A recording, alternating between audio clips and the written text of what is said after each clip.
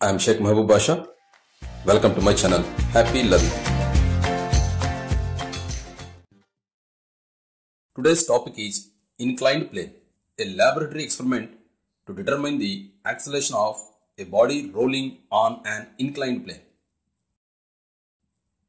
Apparatus required. An inclined plane, a small cylinder or a sphere, a stopwatch, a meter scale. This is a support, this is a plane, made it inclined, a cylinder or a wheel rolling. Initially its velocity is 0. After t seconds, it has covered a displacement s along the inclined plane.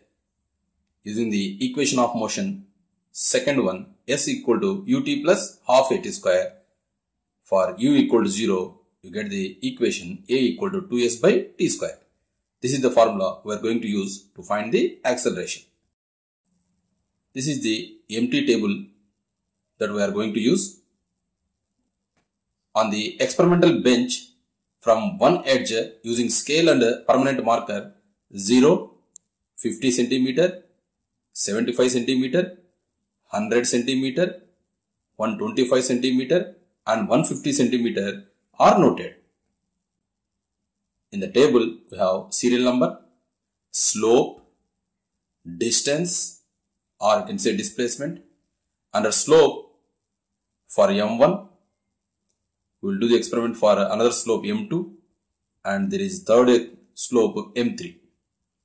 For the slope M1, the experiment will be conducted for three different uh, displacements 100, 125 and 150. Similarly for M2 100, 125, 150 and similarly for M3 100, 125 and 150. Now the time taken. Trial 1 T1 seconds, trial 2 T2 seconds. Average time will be T1 plus T2 by 2. And square of the time T square second square. And finally A equal to 2S by T square centimeter by second square. By adding some mass under the experimental bench, you can convert it into a inclined plane. So the bench itself is a inclined plane here. So from the 100 centimeter mark, I am releasing a small cylinder and noting the time taken with the help of a mobile stopwatch. For the same 100 centimeter, trial 2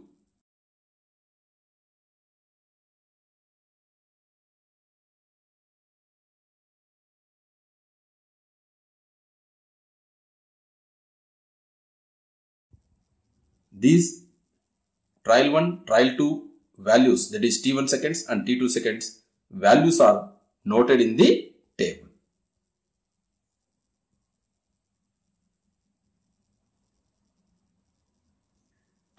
Three point five three seconds and three point four six seconds.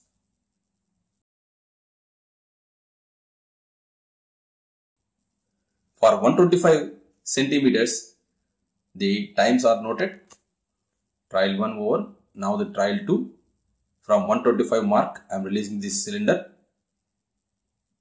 So with the help of another mobile stopwatch I am noting the time taken.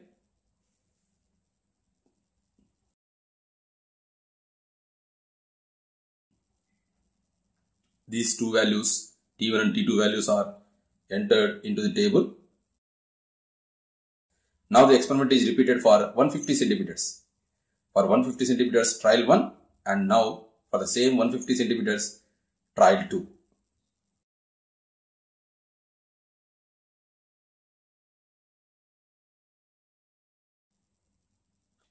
These two values are again noted in the table.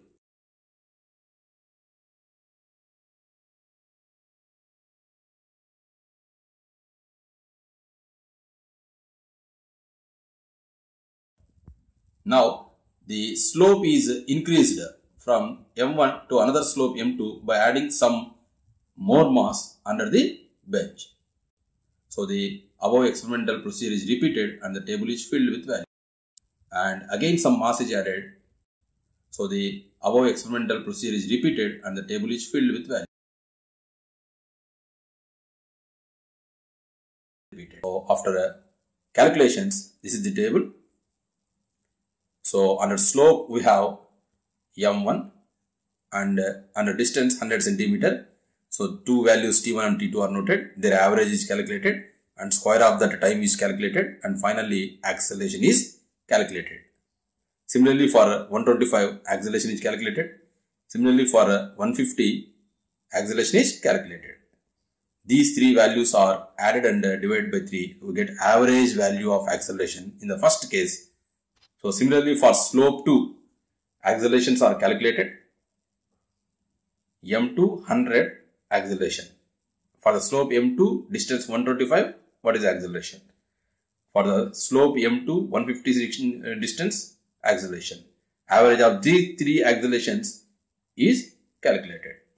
Similarly, for a third slope M3, for 100, 125 and 150 distances, accelerations are calculated and their average is noted 40.83 centimeter per second square. This is the average value of acceleration. So, for slope 1, the acceleration is 60.66 in the case of slope 2, the acceleration is 28.72 and in the case of slope 3, the acceleration is 40.83.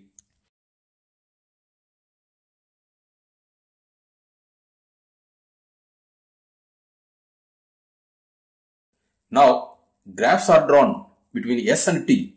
So, in the first case, for slope 1, the time versus distance is uh, plotted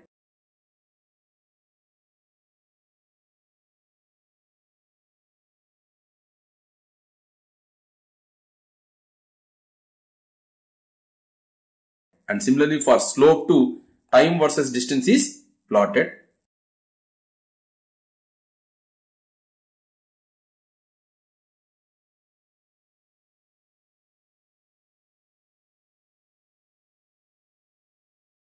So in the third case, for slope 3 also, time versus distance is plotted. So observe, these are all straight lines. Now, if you observe all the three graphs at a time, you will find they are inclined with some different different angles. So recapitulation. Point 1. The experiment is done for three different slopes. For slope m1, acceleration is 16.66 centimeter per second square. For slope m2, acceleration is 29.47 centimeter per second square and for slope M3 acceleration is found to be 40.83 centimeter per second square. Point 2. For a given distance, for example 100 centimeters, for various slopes M1, M2, M3 corresponding accelerations are tabulated. From this, for a given distance, it is observed that more the slope of the inclined plane, more is the acceleration of the rolling body.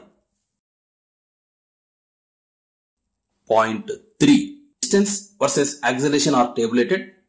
For a given slope, it is observed that the acceleration of the rolling body is independent of distance travelled. Point 4. S versus T graph. It is a straight line with a slope in our experiment for the three slopes m1, m2, m3 we got positive slopes. Point 5. When the three ST graphs are compared together, it is observed that the line corresponding to more slope is more steeper. Precautions. To minimize the experimental errors, longer distances may be selected Smooth surfaces may be used. A digital stopwatch or a mobile phone stopwatch may be used to note down the time intervals accurately. If you like the video, please give a thumb up. For more videos, subscribe my channel. Happy learning and don't forget to press the bell icon. Thank you.